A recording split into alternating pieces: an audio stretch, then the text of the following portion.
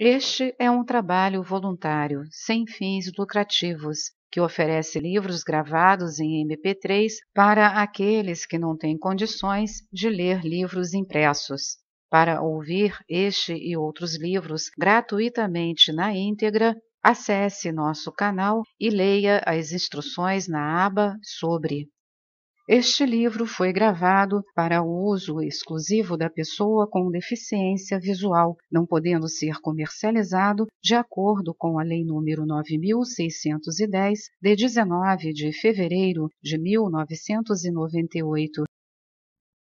Tenho um paciente chinês que está em fase terminal de um câncer na cavidade nasal.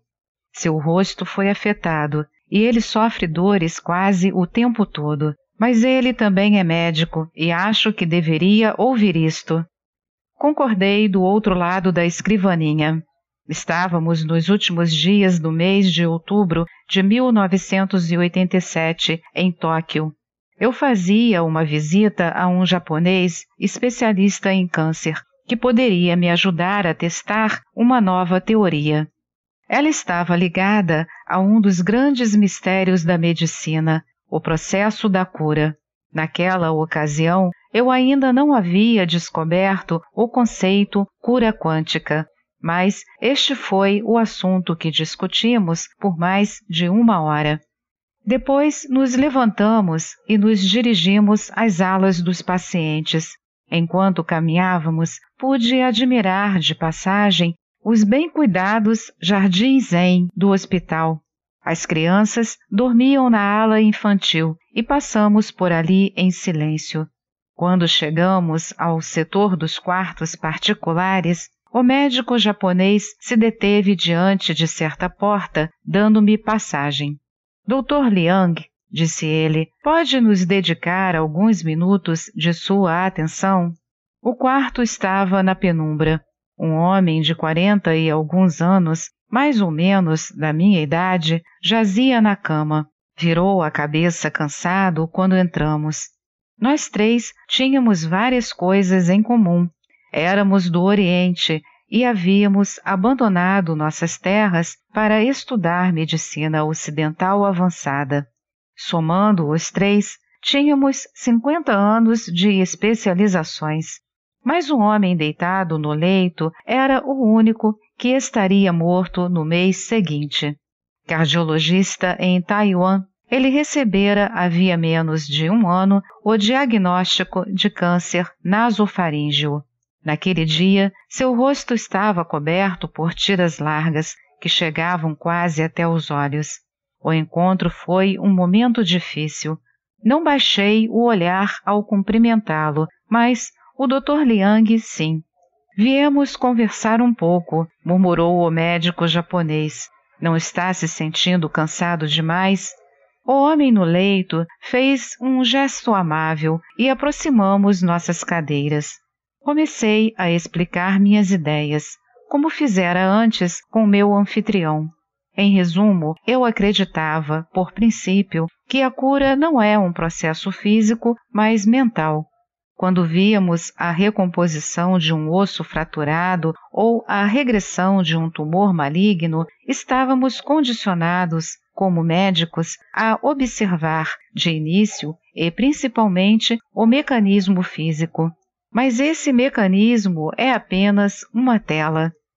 Expliquei-lhes que por trás existe algo bem mais abstrato, uma espécie de know-how que não pode ser visto ou tocado. No entanto, eu estava convencido de que esse know-how fosse uma força poderosa sobre a qual não tínhamos suficiente controle. Apesar dos esforços para influenciarmos o processo de cura quando ele falha, a medicina não pode explicá-lo. A cura é viva, complexa, holística. Lidamos com ela presos a nossos meios limitados e ela parece obedecer a nossos limites. Mas quando acontece alguma coisa estranha, como um câncer avançado que desaparece súbita e misteriosamente, frustra-se a teoria médica. Nossos limites parecem então muito artificiais. Em minha clientela particular, muitos pacientes com câncer sararam completamente depois de considerados incuráveis, com prognósticos de poucos meses de vida. Não considerei essas curas como milagres. Achei que eram a prova de que a mente pode aprofundar-se o suficiente para mudar os próprios modelos que formam o corpo.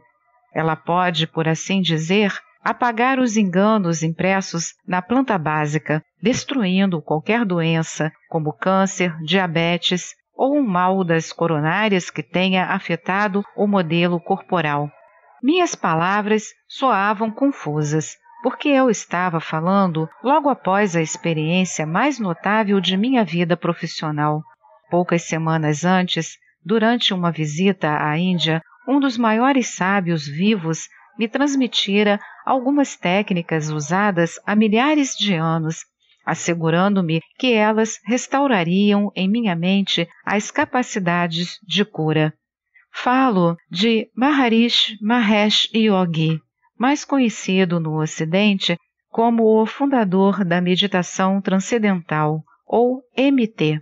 Venho meditando há quase oito anos e prescrevo rotineiramente a MT à minha clientela. O mais irônico foi ter aprendido a meditar com um americano em Boston e não na Índia. Certa tarde, eu visitava o Maharishi num lugarejo novo, chamado Maharish Nagar, a aproximadamente 80 quilômetros de Nova Delhi.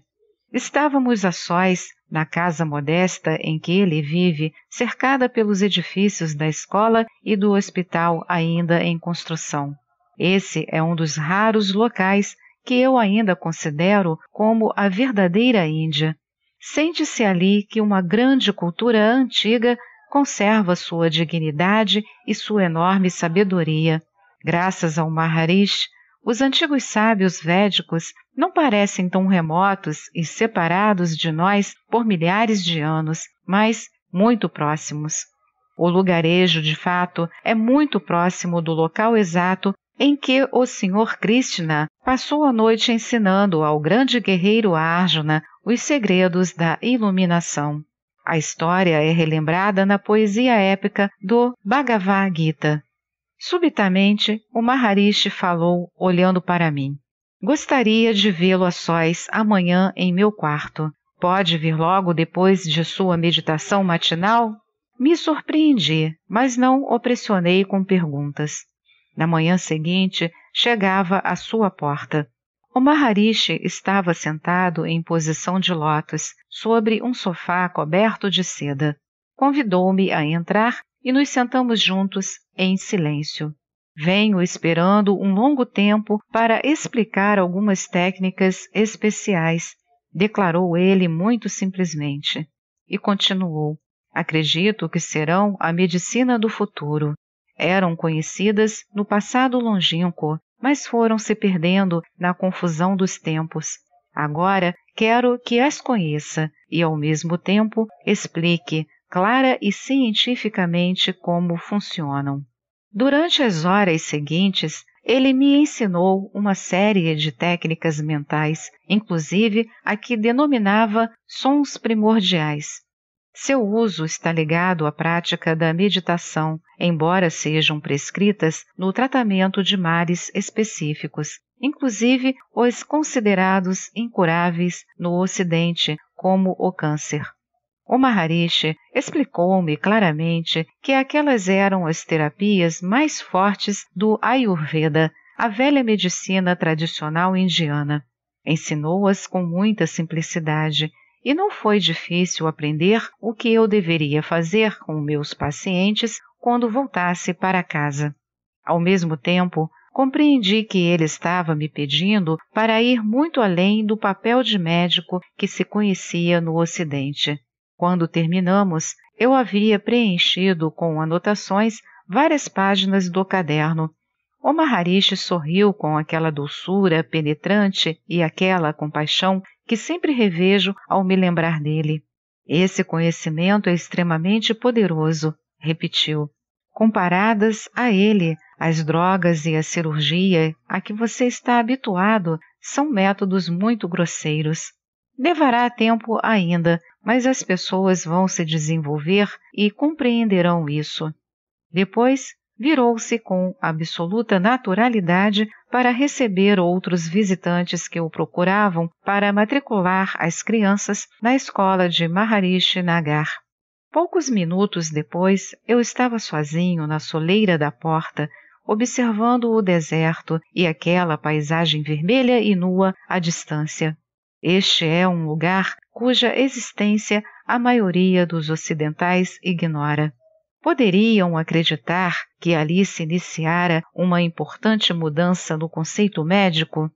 Conheço muitos médicos pesquisadores e não pude conter o riso ao imaginar suas reações. A ciência tem uma base física muito sólida e extremamente convincente aos olhos de qualquer médico. Já o poder da mente é duvidoso na mesma proporção. Para ser franco, naquele momento as dúvidas pouco me atingiam. Eu seguia pela trilha empoeirada até minha hospedagem, com o sol indiano queimando minha nuca, e me sentia exultante. Não era uma sensação de convencimento, mas de uma alegria quase impessoal, incontrolável. Não sabia por quê, mas alguns grandes segredos me haviam sido revelados e eu me sentia transportado aos céus. Tinham me mostrado como penetrar no oculto, e naquele momento nem o calor, nem a poeira ou qualquer outro vínculo material me importavam. Nem meu próprio ceticismo me incomodava, apesar de saber que logo começaria a me oprimir. Enfrentei algumas decisões difíceis, tinha de imaginar uma forma de tornar aquelas técnicas dignas de crédito. Certas pessoas poderiam descartá-las como cura pela fé, outras me acusariam de vender falsas esperanças. Precisava demonstrar que aquela era uma ciência por seus próprios méritos. Como fazer isso? A resposta acabaria por surgir. O pensamento indiano tem se baseado sempre na convicção de que Satya, a verdade, triunfa por si mesma. A verdade é simples, encorajava o Maharishi. Apresente-a com clareza, deixe que se afirme e não se perca em complicações.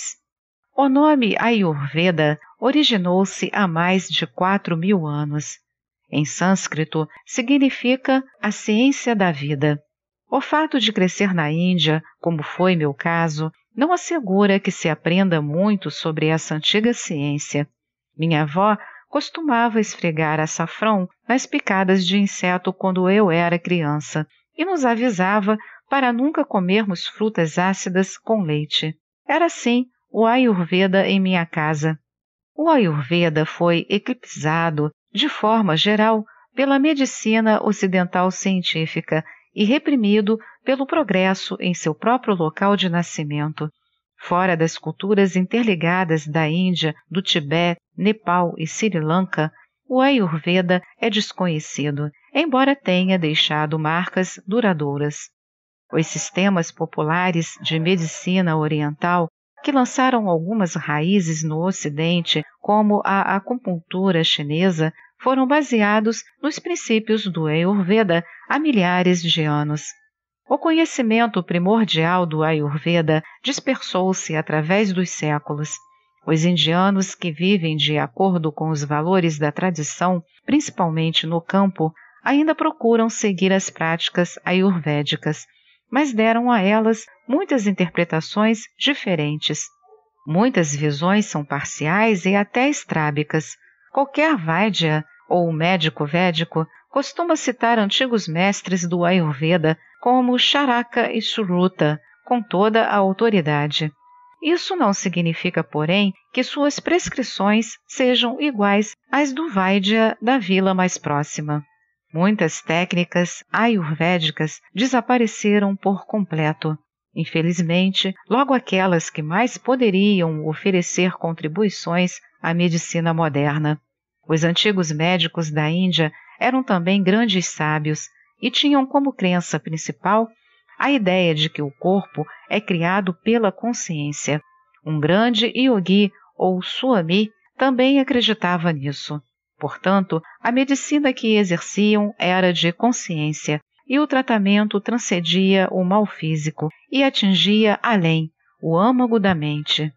Quando você observa os mapas anatômicos do Ayurveda, não vê os órgãos internos descritos nos manuais de anatomia, mas sim um diagrama do fluido da mente enquanto cria o corpo.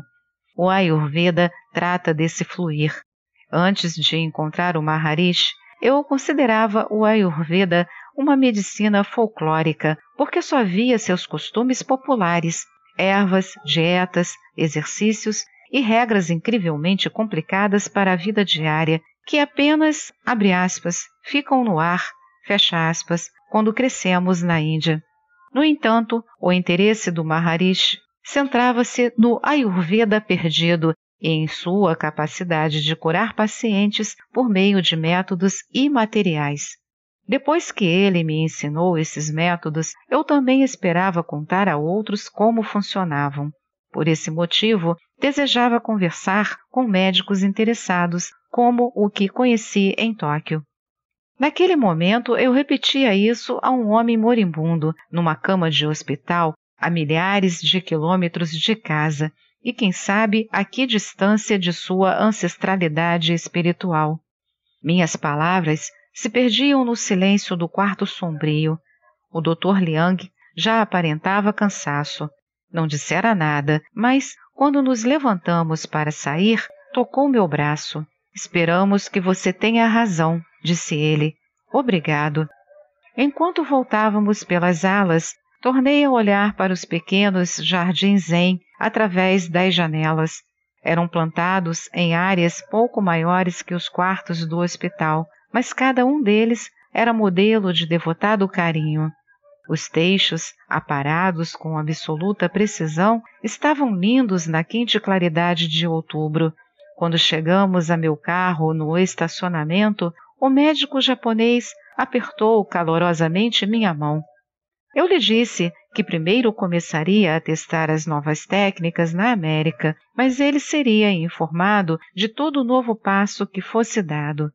Enquanto voltava ao hotel, resolvi que escreveria ao médico o que o Maharishi me havia contado sobre a vida de um Vaidya, um médico védico. Abre aspas. Um Vaidya é um guerreiro invencível porque combate o elemento da morte. Um Vaidya doa, é um doador da vida e, portanto, querido pela natureza. Fecha aspas. O significado dessas palavras é de que o médico precisa fazer uma viagem ao interior, estendendo sua compreensão para além dos limites do corpo físico, até o núcleo de uma realidade mais profunda. Sua responsabilidade é resolver o enigma da vida e da morte. A solução acena no horizonte com a mesma urgência e alegria que animavam os sábios antigos. Saltando pelo vazio do tempo e do espaço, sobrevivendo às ondas de destruição que abalam a humanidade, a antiga sabedoria védica nos fala com profunda simplicidade: no perfeito desígnio da natureza, nada morre. Um ser humano é tão permanente quanto uma estrela, ambos são iluminados pelo resplendor da verdade. Sinto a cada dia a importância da viagem interior. Acredito que ainda estou dando os primeiros passos, mas quero transferi-los aos outros neste livro. A prática da medicina é agora cheia de esperança para mim.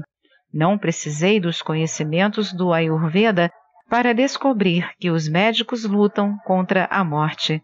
Precisei deles para descobrir que venceremos. Esta é mais uma edição do canal Livros Falados Voz Humana. Que o bem, o bom e o belo se multipliquem em benefício das criaturas.